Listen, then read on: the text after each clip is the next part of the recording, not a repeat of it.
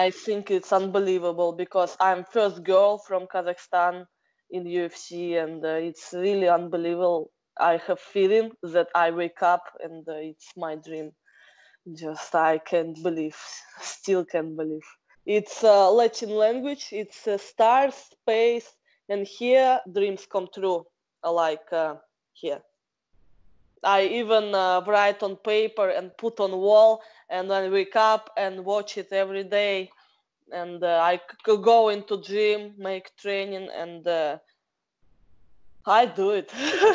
I was amateur boxer seven years, and I wanna be Olympic champion. You know, I want to go to high level, and um, they don't give me opportunities. They just seven years they using me for camp they always bring me to camp. I have spar, and they girls what I beat up.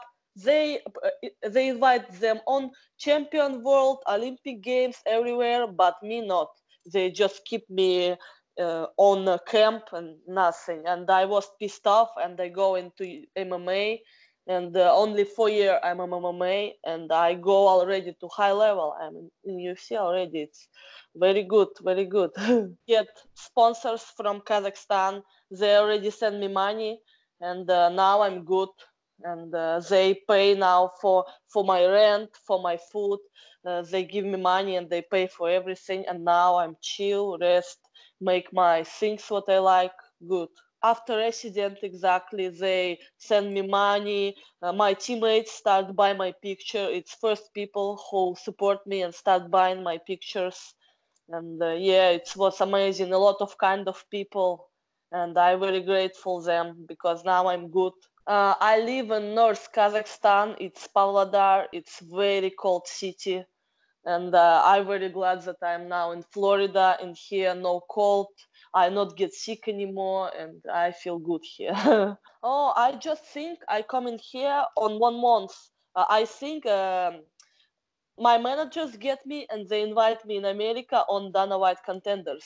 And they come into Dana White contenders. I think I do here camp, fight, and come back home. And I bring with me little things just for one month. And after my fights, my manager invite me stay, and uh, I tell okay. And uh, I, I stay here. I, I was not ready for this. I think I go back, but I decided to stay and come into my dream, and I stay here. And uh, adventures coming. it was hard first time because first time when I come into America, I don't know language. I even don't know what's me on WhatsApp. I don't know. Just people, everybody. What's up? What's up? What's up? I, what do you mean? I don't understand them, and I wanna uh, have a friends i want to hang out with friends but i don't have a friends and i only uh, have uh, connection with people in gym. I talk with people in gym and they come into home and call on phone on my friends in my country. Oh i feel so alone first time. Sometimes i just sit at home. I i hate sunday because on sunday no training and they just sit at home be sad but after I start learning language, get friends, and now I have a lot of friends here. We hang out, everything good. But first time when I move in, it was really hard. Yeah, I just uh, want to have a friends. I watch on uh, my teammates they are so cool and I oh I want to be friends but I don't know language.